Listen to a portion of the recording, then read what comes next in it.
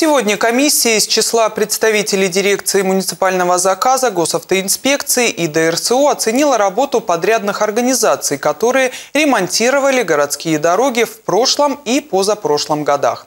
Такие проверки начались совсем недавно и направлены они в основном на выявление работы недобросовестной.